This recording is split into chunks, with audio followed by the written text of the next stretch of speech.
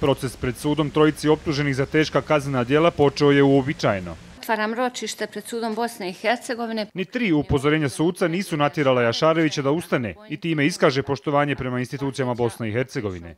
Na optužbe za kazneno djelo organiziranja terorističke skupine kratko je rekao.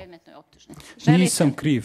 Dobro, konstatovat ćemo da se optuženi Jašarević Mevlid izjasnio da nije kriv. Isto su se izjasnili Fojnica i Ahmed Spahić, optuženi da pripadaju terorističkoj skupini organiziranoj unutar, kako se navodi u optužnici takozvane vehabijske zajednice u Gornoj Mauči kod Brčkog.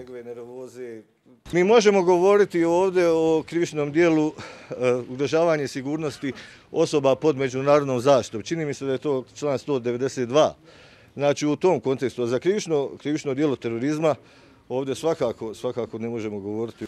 Tužiteljstvo Bosne i Hercegovine najavilo je da će odgovornost optuženih dokazivati iskazima 39 svjedoka i stručnih veštaka, a uz optužnicu je priloženo više od 100 materijalnih dokaza. Dakle, radi se o terorističkom aktu koji je izazvao ozbiljno ugrožavanje sigurnosti te izazvao teške posljedice za međunarodni ugled Bosne i Hercegovine. Maksimalna zaprećena kazna za ovaj oblik kaznenog dijela iznosi 20 godina.